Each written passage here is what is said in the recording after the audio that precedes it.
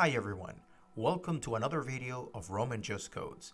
I'm Roman and in this video I'll be coding a very simple splash screen as a reusable Angular component. Let's get started.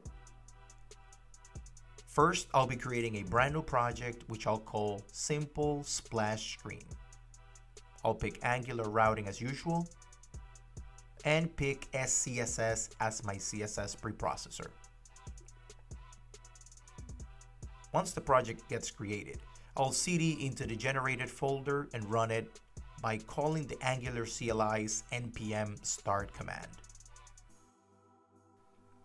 Just checking that everything is in order, I launch the project in a browser running on localhost port 4200.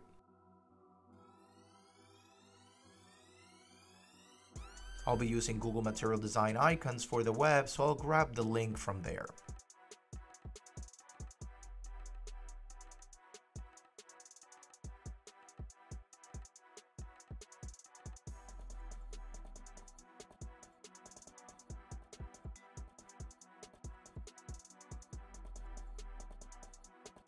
Once I get the link, I'll drop it on the main project's index.html inside the head.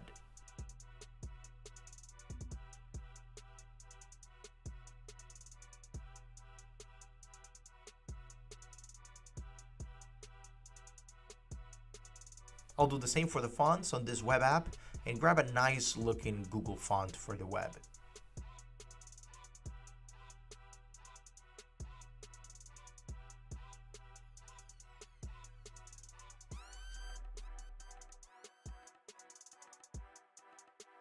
Drop the link below the material icons link and you should be good.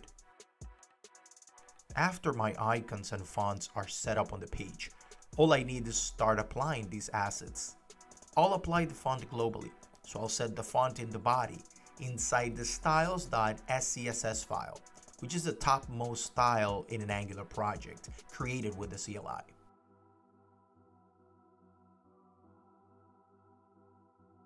Clean up the content of the app.component.html and replace with anything you want.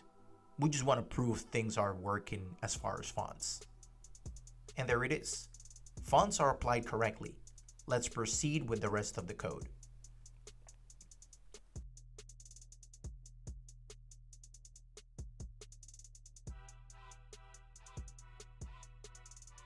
I'll create a folder called components inside the app folder in which I'll create the main component in this project, the splash screen component.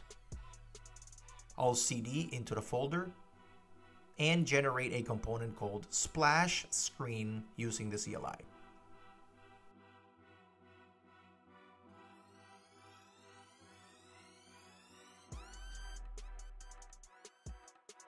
Once the component is created, let's start defining the HTML structure. I want to have a main root container called app splash screen.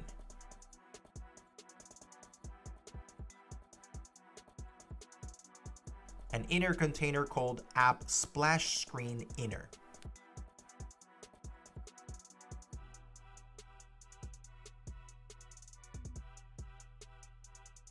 This container will hold a logo, a label, and a loader image, which will be an animated SVG for simplicity.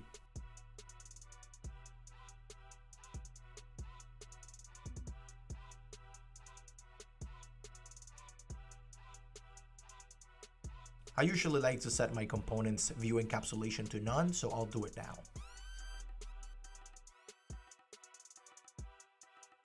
Let me start defining the styles for my splash screen. My main container will have a nice green background to it.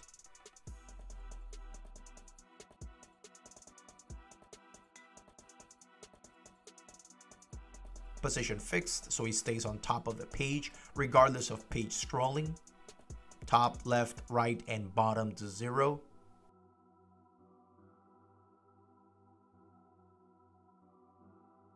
Display flex, justify content center,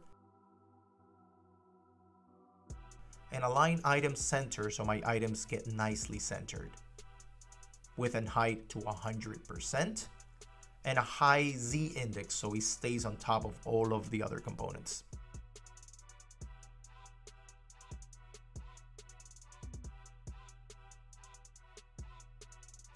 Okay, back in the app.component.html, I'll create a more formal container called main app container. I'll still add some placeholder text. But on top of this container, it's where I'll place the splash screen. So this component sits on top of the root of the page. Let me run the application so we can start seeing the component on top of everything.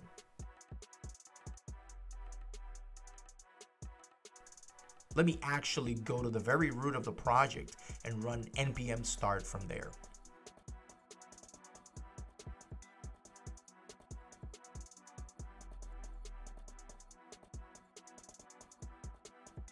Refresh the page, and you will start seeing the splash screen background covering the whole page.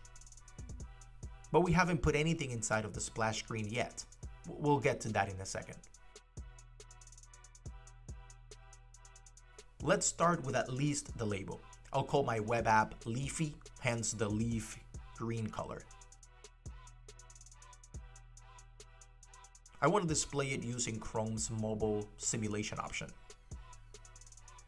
Let's add the style for the app label on the splash screen. I'll make it white with a font size of 2.5 EM.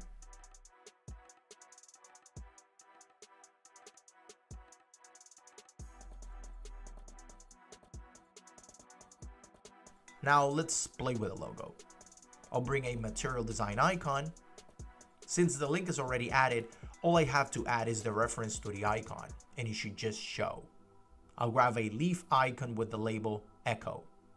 So all I do is add the material dash icons class to the HTML tag where I want it and the label.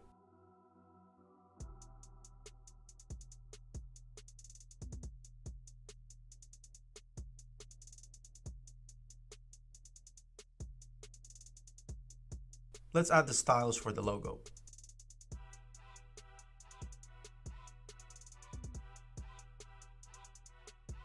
I'll start with a width and height of 100 pixels and see if this works.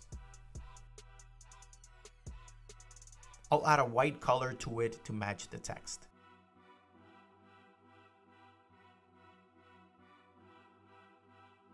Since this is actually a font, I'll actually do font size and I won't need any specific dimensions really. I'll download an animated SVG to stand for the loading which I could do in CSS, but I like using animated SVGs. This is your choice. I'll apply this SVG image as the background of the app-loader container with the appropriate styles.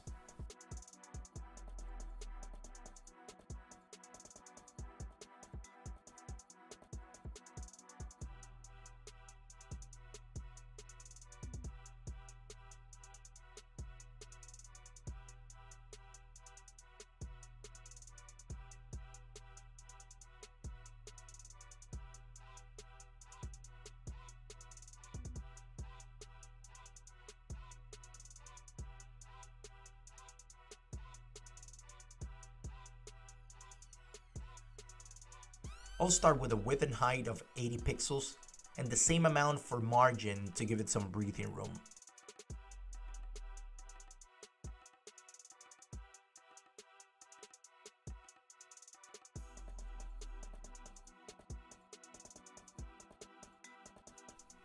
Oh, and please check out samherbert.net website for some cool free animated SVGs, good for loading SVG sequences.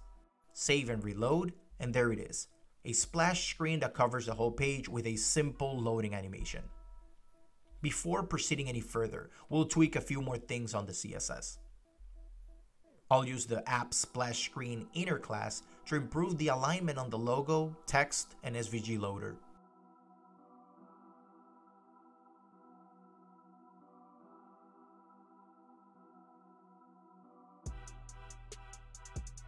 I'll do the usual display flex, flex direction column,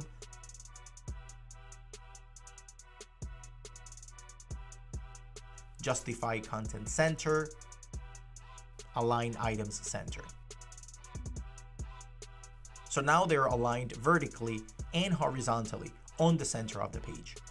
I'll stop right here and continue on the next video where I'll focus on adding the animation and configurability of this component. See you in the next video. That's it for this video, so please stay tuned for more upcoming videos. Hit the subscribe button to stay updated and please like this video if you found it useful. Thank you so much for watching.